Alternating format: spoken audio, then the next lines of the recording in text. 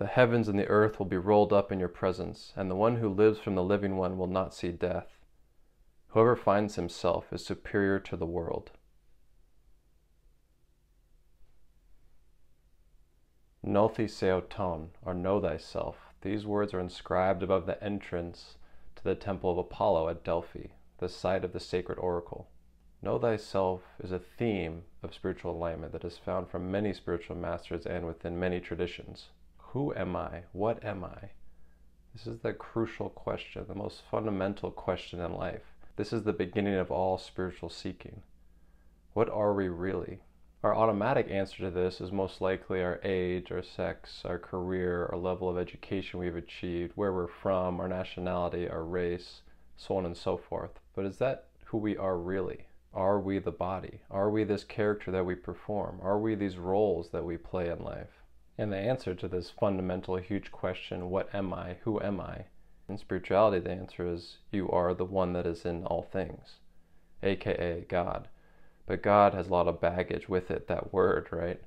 So what else could we call it? We call it the consciousness with everything, the light within everything, the love, the spirit, source, the father, the mother, whatever you wish to call it, the Tao, the Buddha nature, the Christ consciousness, whatever you wish to call it, it is the true identity, that awareness, that presence, that essence within everything. So we are not our thoughts, we are not what we perform, we are not the character that we've been cast into to play within this theatrical performance and dream of, of diversity, of this dream of earth. We are the actor behind that. We are the wearer of the mask.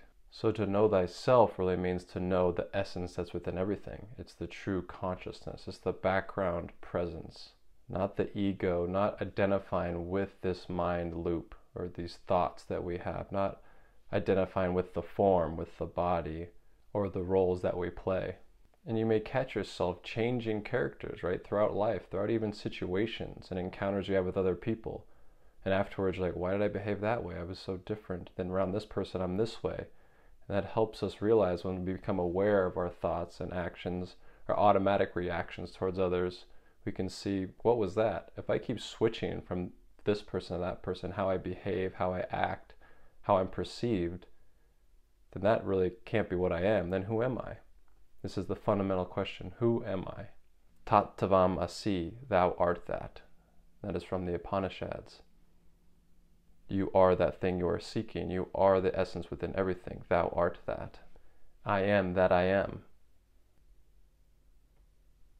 Be still and know that I am God. Be still, be still from the constant commentary, the inner dialogue, the identification with our thoughts, with the ego. Be still and know that the true self, the I am, is the one within everything, is God.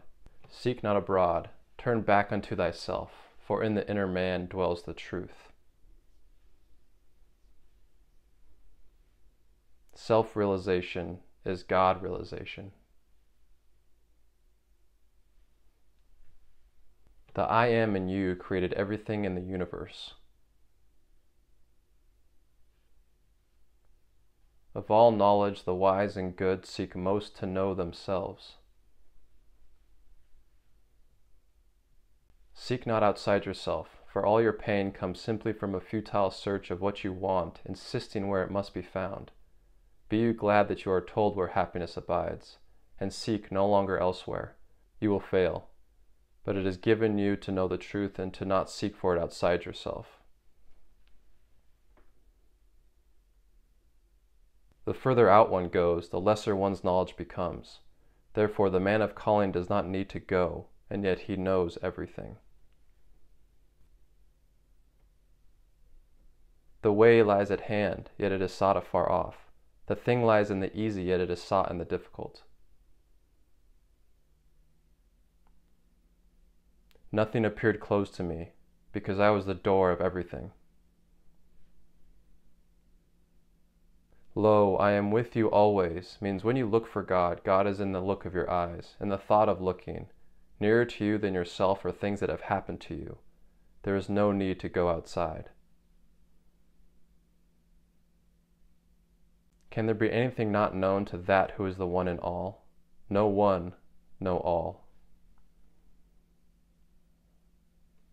He who, dwelling in the mind, yet is other than the mind, whom the mind does not know, whose body the mind is, who controls the mind from within, he is your soul, the inner controller, the immortal. That which in you sees and hears is not of the earth, but is the Word of God incarnate. What the undeveloped man seeks is outside, what the advanced man seeks is within himself. You are all Christ's and don't realize it.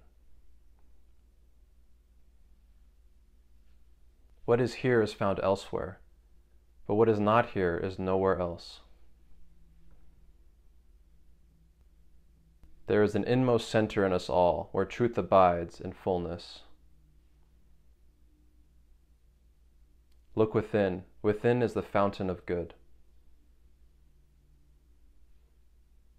In everything there is all that is in anything else.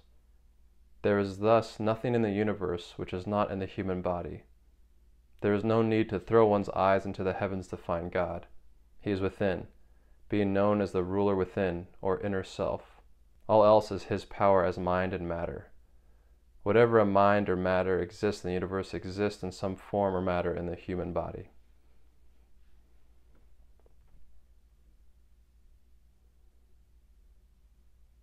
There is no statement that the world is more afraid to hear than this.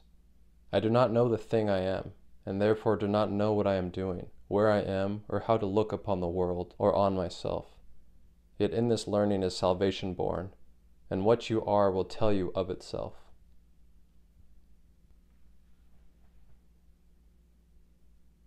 And after asking this fundamental question, who am I or what am I, the realization comes that we cannot fully know. We won't know logically. We can never know in the intellect what we really are, because that is still operating at the level of the ego or the individual self, or the seemingly separate self, which is the illusion.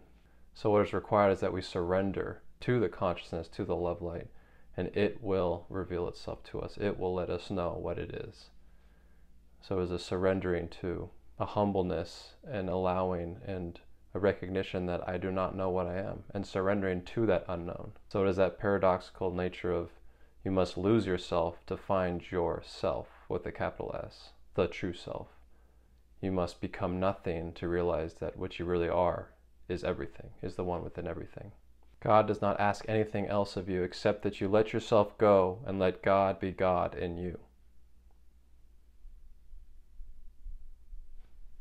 I went to look for God, but didn't find God. I myself became God. In this very body, God revealed himself to me.